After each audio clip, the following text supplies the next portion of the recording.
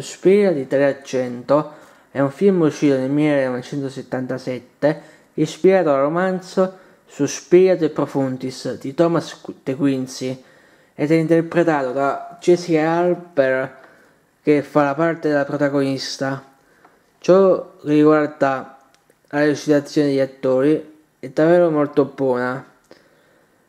I, gli attori sono, se la sono saputa cavare nella recitazione complessiva del film. Jessica Harper nel ruolo della, della protagonista l'ho trovata sempre azzeccata ed è molto femminile nel suo ruolo. Non saprei veramente metterci un'altra attrice al posto suo.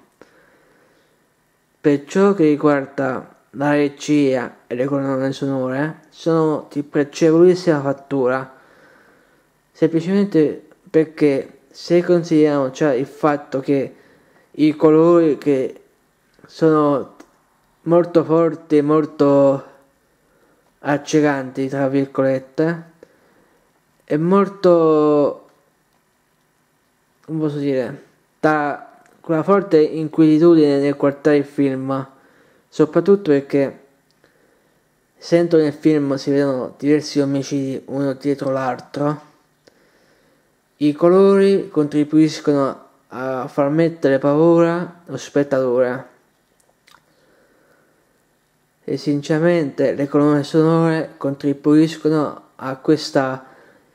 inquietudine, a questa paura, che poi i Coplin nelle colonne sonore che fanno sono davvero bravissimi, ma veramente bravissimi, che, che hanno creato delle opere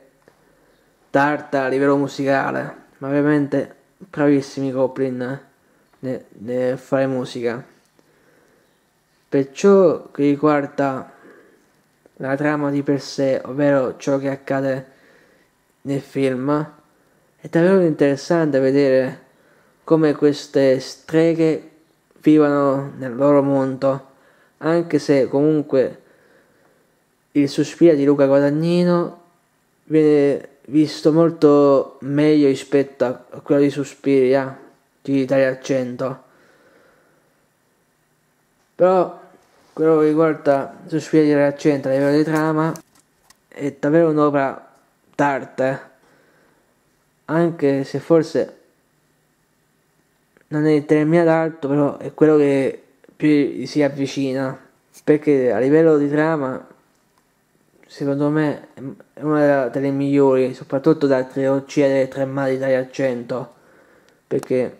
il secondo film, Inferno, a livello di trama, mi è sì piaciuta, però non mi ha fatto impazzire moltissimo, soprattutto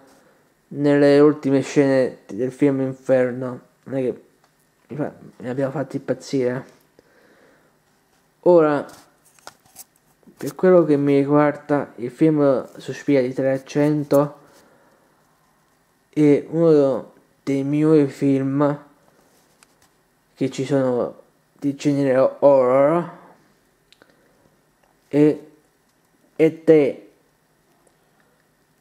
il film forse tra i più belli nella storia del cinema